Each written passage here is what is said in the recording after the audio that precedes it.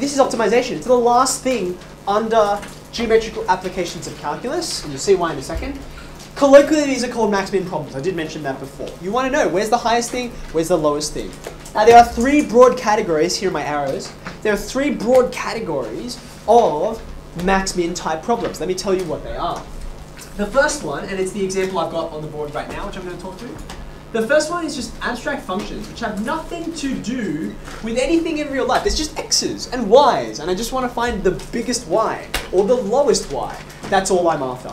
Abstract functions, abstract meaning, it has nothing to do with any context. You look at this, there's no context. I just want to find some numbers. Okay?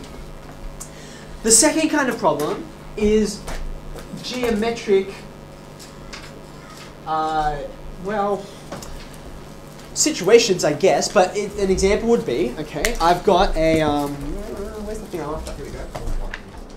I could say, I have a one meter cable, okay, I have a one meter cable. I am going to cut this one meter cable into two portions, right? And out of one portion, I am going to draw a square. And out of the other portion, I'm going to make a circle, okay? So this is like, there's geometry here. You see that, right? Um, there's a certain length of cable, okay? And my question might be, for instance, what's the maximum area I can get from both of my shapes? Because obviously I can make the square bigger, and that would make the circle smaller, right? And there's going to be a different area there, right? Where's the sweet spot? Where can I get the greatest area, okay? This is a geometric problem, and I'm looking for a maximum. I'm trying to optimize to get the most area. Okay, so this is a geometric type problem. This is not easy, by the way, but it's, it's a classic. Um, other things are like, okay, I've got a, um, a circle, and I have a triangle that's inscribed in that circle. What is the greatest area of the triangle that I can get? How big can I make that thing? It's like, say it's the unit circle, for instance. Okay, because I can draw a whole bunch of different triangles that are um, that are inscribed in this circle, which one will give me the biggest area? I'm going for the maximum, okay? It's worth saying maximum maxima problems are far more frequent than minimum problems because when you have a look at both of these problems, um, for example, have a look at this one. I could get a triangle with no area. There he is. Woohoo! But that's boring. There's nothing interesting there, right? Maxima tend to be more frequent, though there's no reason why you can't find minima because we have the applications of differential calculus to find a max or a min. They're both just different kinds of turning points. Even if you did find the triangle, how would you describe it? You would say it's a triangle with height this and base Oh, that. okay, okay. Something like that. Okay. Don't worry, we'll get to those. Now there's one other kind of category, abstract, um, geometric, and then they tend to be like they're real world problems, but they're almost all about rates. Okay? So it's like you want to travel somewhere or you want to pour in water at such and such a rate. What's the fastest you can do it? What's the slowest you can do it? Okay? So these are like your three overarching categories. The mechanics underneath it are all the same, right? It's well, differentiate. Find a turning point. Tell me what kind of turning point it is, and then prove it. They're all going to work through that, but the context looks very different, and questions can look very different, even though underneath they're all in the same family of problems. Okay, does that make sense? So we're just going to start with um, one or two abstract examples, okay? Because that's where it starts off and it's easiest. You don't have to worry about these other concerns, okay? These are kinds of like extra layers of complexity on top of this. So here's the question. That's it. I've got a function. You'll notice I have a domain. This comes up quite frequently in max min problems because usually you have some kinds of constraints, such as my cable is only so long. Like you don't have an infinite amount of cable, okay? So you're actually trying to solve for a real situation. And because these are leading into these, even though like this function, it- its domain is all real x, okay? But they artificially impose a restricted domain on it to make things a little more interesting and to feed you towards here where there will be an actual restriction there that's part of the question.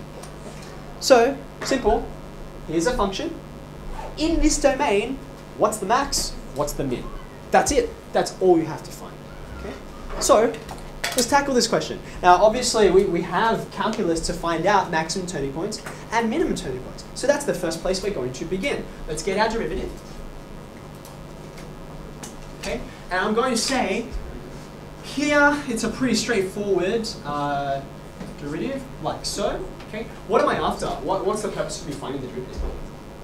Find the stationary points. I want to find stationary points. I want to let it equal to zero. Therefore, I need to factorize this thing, right? That's why I factorize. I don't do it randomly. It's because I'm going towards turning points, okay? So I'm going to take out my factor of three. What's the factorization? X squared minus four X Uh, three outside the front. Looks like minus one, minus three to me. Yeah, is that okay? So now I can see where it's equal to zero. Now, pause for a second. I usually would say find stationary points determine their nature, okay? Stationary points in themselves are actually no use for finding a max or a min. What I really want is a turning point. We know that these ideas overlap, but if I find a stationary point and it's a horizontal point inflection, it's, it's no use to me, okay? So what I'm going to say at this next point is potential turning points right? Because I don't know they're actually turning points yet. I haven't gone to the secondary or anything like that, and in fact, I'm not planning to. I'm going to say potential turning points uh, occur at, and I just read off the values because I factorized, namely x equals one. one Three. or three. Done. Now, at this point, I have a bit of a choice. Okay, you can sort of go to your, your, your flowchart thing here, right? What I could do is I could find the second derivative. It's not hard to find in this case. I could find that one is a max and one is a min. Like one of them will be each. Okay, and then I can say, well, therefore, here are the conclusions I'm going to draw.